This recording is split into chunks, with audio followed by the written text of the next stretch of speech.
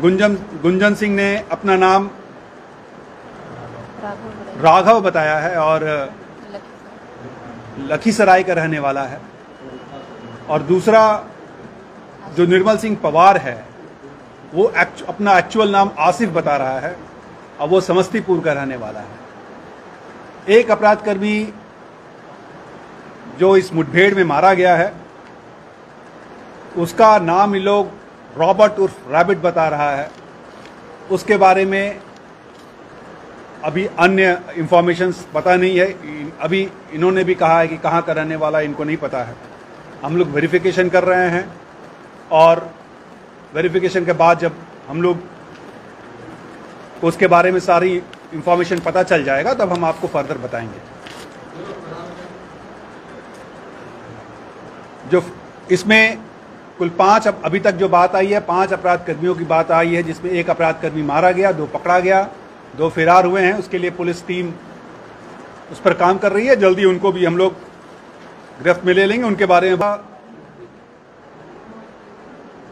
Bank मोड़ police को ये इंफॉर्मेशन मिली कि मुथुट फाइनेंस में कुछ लोग घुसे हैं डकैती करने के लिए। इंफॉर्मेशन मिलने के विद इन अ मिनट जो ऑफिसर इंचार्ज हैं यहाँ इंस्पेक्टर पीके सिंह, अपने दो जवानों के साथ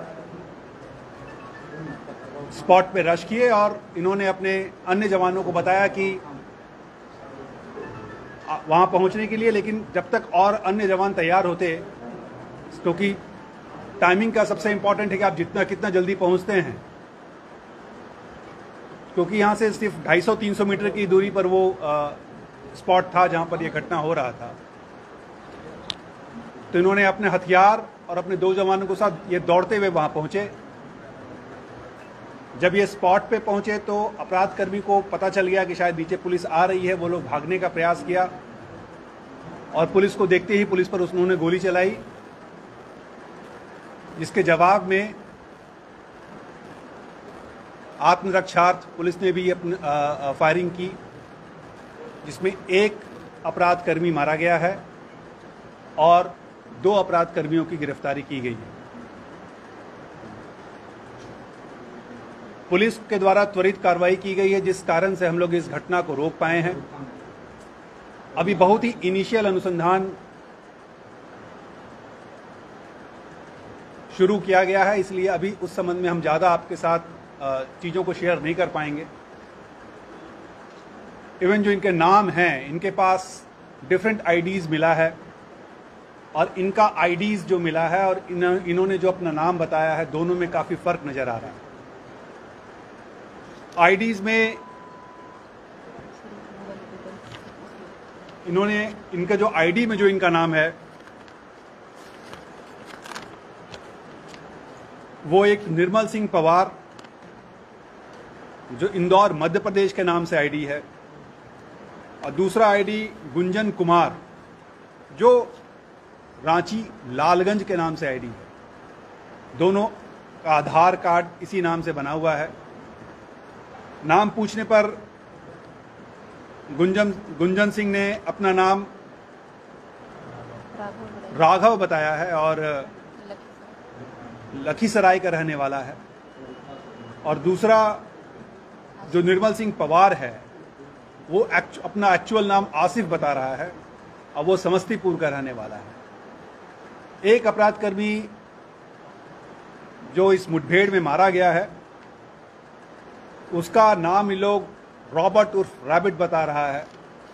उसके बारे में अभी अन्य इंफॉर्मेशन पता नहीं है अभी इन्होंने भी कहा है कि कहाँ का रहने वाला इनको नहीं पता है। हम लोग वेरिफिकेशन कर रहे हैं और वेरिफिकेशन के बाद जब हम लोग उसके बारे में सारी इंफॉर्मेशन पता चल जाएगा, तब हम आपको फर्दर बताएँगे। जो इसमें कुल पाँच अभी तक जो बात आई है, पाँच अपराध कर्मियों की बात आई है, जिसमें एक अपराध कर्मी मारा गया, दो पकड़ा गया, दो फिरार हुए हैं। उसके लिए पुलिस टीम उस पर काम कर रही है। जल्दी उनको भी हम लोग गिरफ्त में ले लेंगे। उनके बारे में बहुत सारी सूचना हमारे पास आ गई है। है अभी सब कुछ बताना है। हैं सब कुछ। सब सब सब सब सब सब सब बता रहे हैं सब बता रहे हैं। दो के अलावा एक तीसरा भी पकड़ा गया नहीं आ, आ, टोटल दो अपराध कर्मी पकड़े गए हैं एक मुठभेड़ में मारा गया है। ऐसा भी हुआ है कि मैंने प्रेस न्यूज़ चैनल में अभी हम सब कुछ बता दें फिर आप लोगों से सवाल लें नहीं नहीं दो मारा गया है ऐसा भी सूचना मिल रहा है ऐसा अभी हम सब बता दें फिर आपसे हम सवाल लेंगे। आप जो भी सवाल कर- करेंगे हम आपसे सवाल लेंगे। पहले आप पूरी सूचना तो जान लीजिए।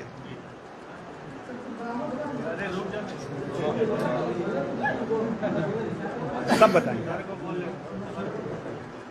अभी तक जो इनिशियल इंफॉर्मेशन है ये पिछले दस दिन से इस इलाके में रेकी कर रहे थे।